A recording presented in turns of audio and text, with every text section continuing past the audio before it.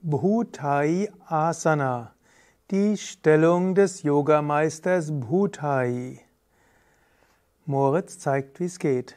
Ausgangsposition ist Hockstellung. Du hockst auf den Füßen, Fußsohlen flach am Boden.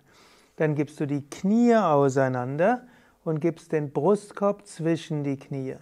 Und dann gibst du die Oberarme unter die Schienbeine und gibst die Hände zum Rücken hin. Wenn es geht, verhakst du die Finger oder faltest die Hände. In Variation 1 schaust du dabei nach vorne und schaust zum Punkt zwischen den Augenbrauen. In Variation 2 senkst du den Kopf auf den Boden und schaust zur Nasenspitze.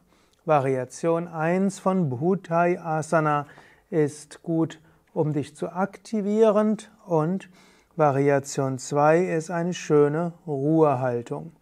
Bhutai Asana ist also eine der 84 Asanas, die nach großen Yogameistern benannt werden, also nach den Naht Siddhas. Und diese 84 sind, stehen alle für eine bestimmte Meditationstechnik, sie stehen für eine bestimmte Richtung in dem Hatha Yoga wie auch im Tantra und jeder Art von Hatha Yoga.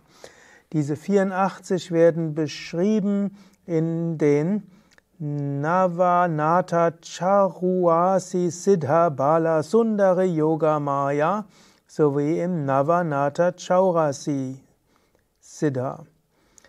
Gut, also es gibt 84 Asanas und diese sind nach Siddhas benannt und die findet man auch in dem einem berühmten Tempel in Jodhpur, Rajasthan, eben im Mahamandir dort. Diese Stellung hilft auch für die tiefen Verdauungsorgane, ist eine gute Stellung für die Fußgelenke, die Knie und die Hüftgelenke, die bekommen maximale Flexibilität.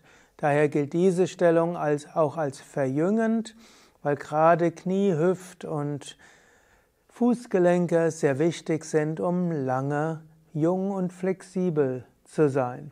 Interessanterweise, die meisten der Sitzhaltungen der 84 Naht-Siddhas sind solche aus der Hockstellung.